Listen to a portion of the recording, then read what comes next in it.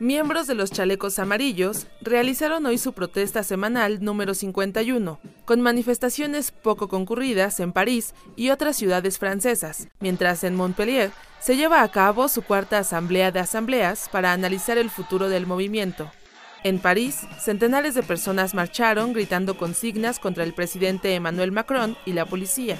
Aunque la movilización se desarrolló sin incidentes, fue desplegado un importante contingente de las fuerzas del orden para vigilar a los manifestantes.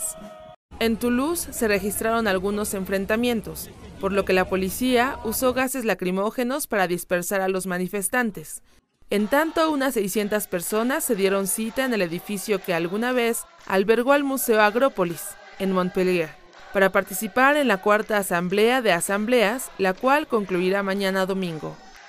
El movimiento de los chalecos amarillos surgió el 17 de noviembre de 2018, cuando casi 300.000 personas salieron a las calles para rechazar el aumento de los precios de los combustibles, lo que desembocó en otras exigencias como acabar con la desigualdad salarial y la renuncia del presidente Macron.